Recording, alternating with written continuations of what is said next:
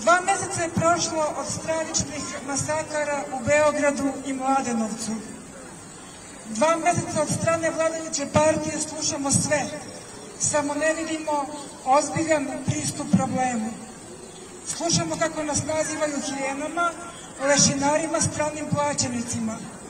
A umeđu vremenu su neki od njih počeli da nam broje decu i da, da nas kvalifikuju po validnosti na osnovu toga da li ih imamo ili ne. Džabe se Aleksandar Martinović, ministar za državnu upravu i lokalnu samoupravu, sada izvinjava. Rekao je ono što misli. Rekao je to u sred Narodne skupštine koja bi trebalo da bude skupština u službi svih nas i onih koji imaju decu i u službi nas koji je nemamo. Izgleda da ona to nije.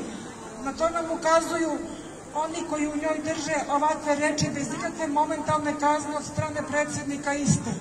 Po meni kakvi ljudi su za smenu i da se uh, uvek zna ko su bili oni, da se čisto ne ponove greška, da nam jedna takva osoba ponovo bude ministar bilo čega. Umeđu vremenu svedoci smo nasilja u porodici, ubistva iz puške koju je držala maloletno dete, jeli, e, koliko se sećam, nakon masakara smo se razoružavali, tako da ovo zaista što se desilo u poslednjih par dana je nešto neviđeno. Svedoci smo i traženja otkrivanja ubistva transrodne osobe i komentara na tu temu. Stravični događaji se nižu iz dana u dan, a sistemskog rešenja ni na pomolu.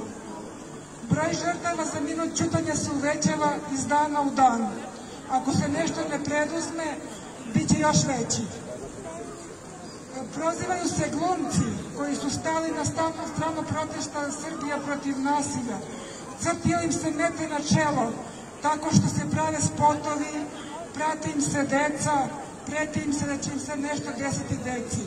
A odgovor vladajuće partije na sve to je, pa eto, koji odlučuje da se bavi politikom, e, potrebno je da navikne i da prima udarce. To je besmisleno. Udarci mogu da budu e, pod navodnicima udarci e, sučeljavanje mišljenja, poziv na diskusije, na razgovore, na traženje rešenja. Udarac ne sme da bude pretnje na decu prosvetni radnici, radnici u zdravstvu i mnogi drugi su posebna žrtva sistema. A gde ima žrtava, tu je nasilje koji ih proizvodi. Izgubili su dostojanstvo, a većina njih planira i da ode. I dok kriminalci slobodno šetaju Srbijom, kupuju firme, posluju, policajka Katarina Petrević je uhapšena zato što je iznala u javnost informacije od javnog značaja.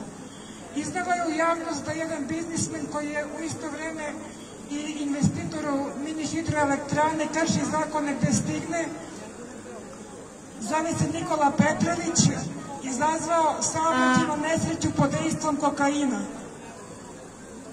Da se ljudi nisu pobunili, da nije, da, da nije Valjevo izašlo na ulice, da nije pružena javna podrška njoj, ona bi, verujem, i danas bila u zatvoru. Ona je danas puštena, ali ovaj slučaj ne treba da zaboravimo. Ovde smo sa ciljem da iniciramo pokretanje sa mrtve tačke, da iniciramo promene, da prodišemo.